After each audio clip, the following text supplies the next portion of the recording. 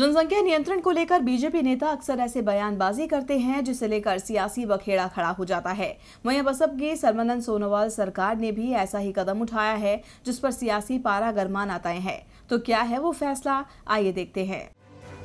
इस साल स्वतंत्रता दिवस के मौके पर लाल किले की प्राचीर से प्रधानमंत्री नरेंद्र मोदी ने जनसंख्या वृद्धि की ओर लोगों का ध्यान खींचा था और इस पर चिंता ज़ाहिर करते हुए कहा था कि हमें आने वाली पीढ़ी के लिए सोचना होगा। सीमित परिवार के साथ ही देश का भला होगा। यहाँ तक कि उन्होंने तो छोटे परिवार को देशभक्ति से भी जोड़ दिया था। पीएम मोदी की इस अपील पर अब असम की सर्बानंद सोनोवाल सरकार ने एक कदम आगे बढ़ाया है। दरअसल असम की कैबिनेट ने ये फैसला लिया है कि 1 जनवरी 2021 से उन व्यक्तियों को सरकारी नौकरी नहीं मिलेगी, जिनके दो से ज़्यादा बच्चे हैं। सरकार की तरफ़ से इसे जनसंख्या नियंत्रण की दिशा में उठाया गया अहम कदम बताया जा रहा है।